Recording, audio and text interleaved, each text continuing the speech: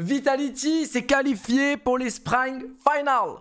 Waouh, l'accent du Texas là c'était compliqué. Spring, c'est Spring, Spring Final. Voilà, bien joué les gars, on est ensemble. Le boulot a été fait. Ils ont montré quand même de la fragilité, ils sont montés en puissance doucement, mais ils ont réalisé quand même un exploit historique avec un 13-0. Le premier 13-0 à ce niveau-là, Counter-Strike 2, c'est quand même pas mal, c'est quand même pas mal, ça a ravi tous les fans. On a eu un Apex dans le trash talk comme on aime et on a surtout un Ziwu euh, statistiquement sur la lune. Il marche sur l'eau, il est un intouchable. Vraiment trop fort et euh, bonne vibes. Il a lâché un banger aussi Ziwoo là en interview. C'était euh, c'était piquant piquant. Vous voulez échanger vos skins? Passez par Skin Monkey, un site spécialisé dans les échanges. Trade ton inventaire de manière automatisée et sécurisée. Code Malek CSGO pour avoir jusqu'à 5 dollars et 35% de bonus. Regardez les équipes qui ont participé au Blast première. Attention, il n'y a pas de premier, il n'y a pas de deuxième, il n'y a pas de troisième. C'est vraiment que des slots qualificatifs euh, et dans tous les cas t'es au showdown donc même si tu finis dernier euh, ce genre de truc t'es au showdown donc le showdown c'est encore un tournoi qui qualifie à la phase finale. Donc c'est pour ça que quand on dit que CS c'est open, tout le monde peut y participer, c'est faux. En fait, tu laisses des opportunités aux grosses équipes tu leur laisses 2, 3, 4 qualifications pour se qualifier aux phases finales. Dans ces qualifications, ils jouent contre des petites équipes qui viennent euh, des plus petits tiers de CS. Mais en fait, tu peux pas fail 4 fois quand t'es G2. Tu peux pas fail 4 fois quand t'es Navi, quand t'es Vitality et tout. C'est très très rare. Tu peux fail une fois, mais à la deuxième ou à la troisième euh, situation, au last chance, du last chance, du last chance, tu réussiras à te qualifier. Et donc c'est pour ça que moi, le format là, je le déplore quand même beaucoup. Et euh, c'est pour ça que c'est très très dur pour des équipes comme la nôtre avec 3D Max de se qualifier dans euh, dans ces sphères-là de Counter-Strike, même si on a réussi quand même avec la Pro League et le RMR, c'est déjà bien, mais il faut aller encore plus haut. Ce n'est rien qui a été accompli. Euh, voilà, restons dans cette mentalité plutôt. Et donc, euh, Vitality s'est qualifié.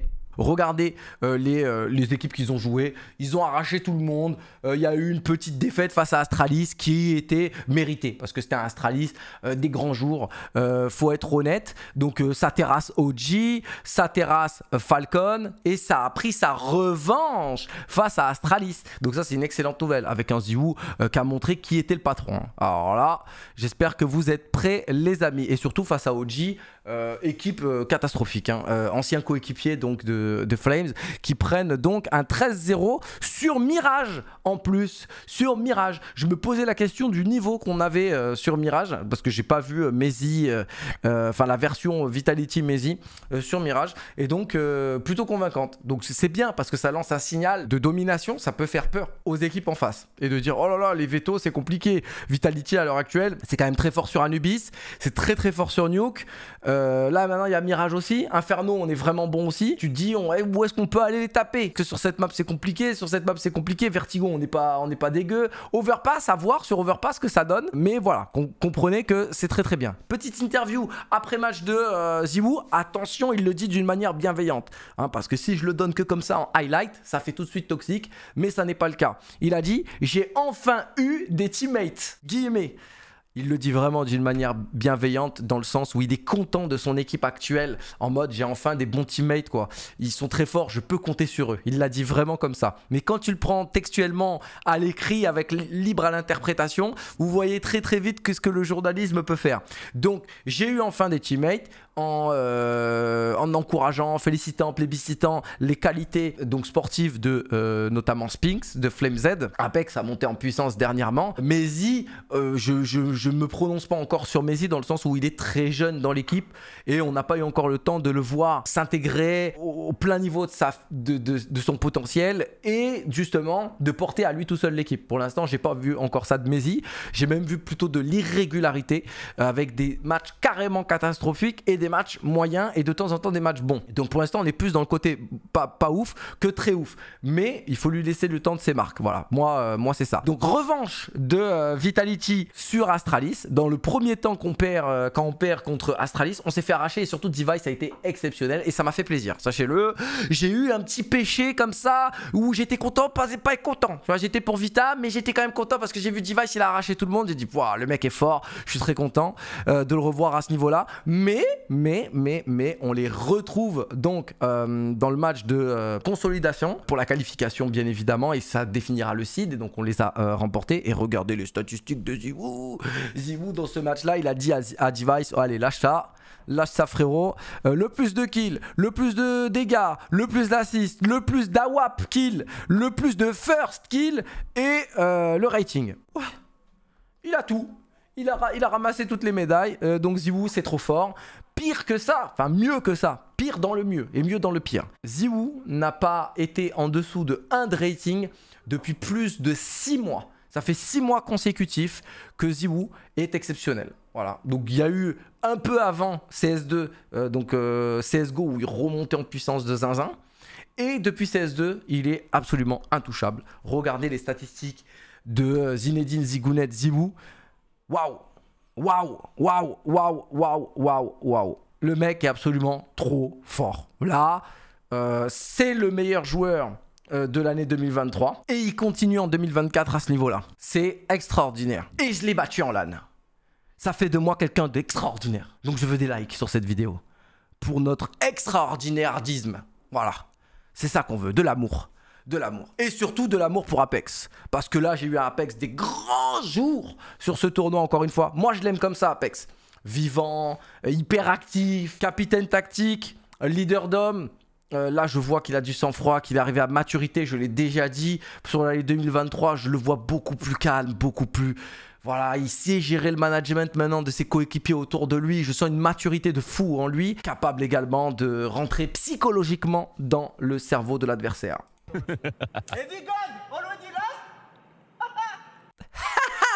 Voilà les petits rires comme ça, là, bien toxique. Ça, c'est mon Dan, ça. Ça, c'est mon Dan. Donc, ça jouait contre OG. Et Vigod est le nouveau joueur de OG. et il lui dit hey, T'es encore le dernier, hein T'es le dernier en vie T'es le dernier au scoreboard, frérot donc euh, c'est le Apex qu'on aime, c'est le Apex qu'on aime. Que ça, oh là, là, là c'est extraordinaire parce que ça, je crois, c'est mentalité Kobe Bryant. Ça, je crois, c'est Kobe Bryant quand on a regardé un peu des interviews des mecs de la NBA. On nous apprenait que Kobe, paix à son âme, apprenait des langues étrangères pour faire du trash talk face à ses adversaires qui étaient euh, de nationalités différentes. Ça veut dire que à Tony Parker, il, trash talk un peu en français, euh, des mecs serbes, euh, etc., ou argentins, ça leur parlait un petit peu espagnol, serbe et tout. Et là, regardez Apex qui nous a fait. Il trash talk en danois quand il joue contre Blame et Device. Old Dick Che, je sais pas ce qu'il dit, mais ça veut dire taisez-vous, sit down, shut up, fermez-la. Euh, voilà, genre euh, t'es éteint, t'es éteint en, danois. De la traduction que j'en ai eu sur internet, source internet. C'est ce que ça veut dire. Donc s'il y a des gens qui comprennent le danois, dites-moi ce que ça veut dire. Mais moi j'adore. Moi j'adore. Vous voyez mon sourire, c'est incroyable. Et là, et là, c'est cerise sur le gâteau de mon Dani, de mon Dani national. J'ai les, larmes aux yeux. Tellement je ris, vraiment, je vous le dis, c'est extraordinaire. Là, c'est cerise sur le gâteau. Il a euh, donc joué contre Falcon. Il a battu Falcon. Falcon, qui sont ses ex-coéquipiers, hein, avec euh, bah, Zonic euh, et Magisk notamment. Et là, je vous laisse ce tweet. Je vous laisse ce tweet. je vous laisse ce tweet. Voilà. long time, I didn't. my ex, it felt good. Oh. Oh là là, donc ça fait longtemps que j'ai pas eu euh, de rapport avec euh, mon ex, donc mes ex euh, de Falcon, et c'était plutôt pas mal. Ah, ça, ça faisait du bien. C'est le ça ça ça, ça c'est de l'amour, ça. Parce que c'est fait dans le bon sens. C'est fait avec du vrai storytelling. C'est fait avec, avec du vrai amour. Tu vois, c'est comme quand tes potes euh, et, quand tu te comportes vraiment comme ça, où tu t'insultes entre frérots et tout, tu sais très bien qu'il n'y a que de l'amour, il n'y a rien du tout. C'est du vrai trash talk, euh, d'intimité. Voilà. Et ça, j'adore. Voilà, ça, j'adore. Donc, euh, Vitality va très bien. Ils, se sont qualifiés. Voilà, ils sont, ils sont allés, ils sont qualifiés. Comme j'ai dit, ils ont montré un peu de fragilité parce qu'ils ont perdu contre Astralis. Mais c'est surtout Astralis qui revient en puissance. Donc, c'est une bonne défaite, en fait. C'est une bonne défaite de perdre contre un adversaire qu'on ne voit plus, qu'on n'a plus eu le temps d'apprécier depuis quand même pas mal d'années qui étaient dans des vraies difficultés de reconstruction. Et maintenant, ils sont très très forts. Voilà, Device, Blamef, Diabistavel et tout, c'est des monstres. Astralis va revenir en 2024 dans le top 10 HLTV, je vous en assure. J'espère même le top 5. J'espère même le top 5 pour prétendre à des titres. Parce que moi, les confrontations Device, Ziwu, j'adore ça. je vous le dis, j'adore ça. Et euh, bah, c'est cool. Voilà, c'est cool parce que ça crée cette rivalité avec Apex qu'on peut voir contre Falcon. Ça met, ça, vous voyez, il, récupère de l'adversité face à Zonic et Magis. Ça nous crée un storytelling. Vous voyez, tout de suite, c'est naturel. Quand il joue contre Astralis, on a de nouveau cette rivalité Ziwu Device et un petit peu le trash talk avec Blamef qu'on a déjà eu où il l'insulte, euh, on se rappelle, où il lui dit eh, arrête de bait euh, Blamef, etc. On les a eu. Donc tout, tout ce trash talk, il est réel, il est sincère parce que c'est des gens qui s'apprécient. Et moi, j'adore ce naturel en fait. J'aime pas le trash talk juste pour trash talk, pour être un peu pour descendre, pour faire monter en puissance et tout. J'aime bien quand c'est fait comme ça naturellement. Parce qu'Apex, on le voit pas trash talk vraiment, vraiment. Enfin, on le voit souvent, mais on le voit avec certaines personnes parce qu'il a de l'histoire avec eux. Il a de l'historique et que c'est un ancien de la scène, il est là depuis très longtemps. Et donc il a créé ses liens avec ces gens-là, il peut se permettre de le faire. Il y a des gens avec qui il va pas le faire parce que, ouais, il va pas le faire, c'est pas un trash talker juste toxique pour descendre les gens et, ça. Mais moi j'adore ça de la part de Apex. Il y a Carrigan aussi qui l'est un peu, voilà, qui aime bien euh, faire des sifflements, des you you you. Pour ceux qui se rappellent de Carrigan, hein, ESWC, mais vraiment à l'ancienne de fou il avait un, truc là. De, il faudrait le retrouver. Il avait un truc qui faisait du bruit. Il avait des sifflets. Enfin, c'était un malade. C'était un malade mental. Et moi, c'est le CS que j'aime. Voilà, ça, c'est, c'est vraiment le CS que j'aime, ça. Un peu à l'ancienne, comme ça, où, où ça se crie dessus, mais il y a de l'amour vraiment. Tu sens vraiment qu'il y a du, il y a du, y a du confort personnel derrière. Merci d'avoir suivi cette actu. Bisous. Vive Apex.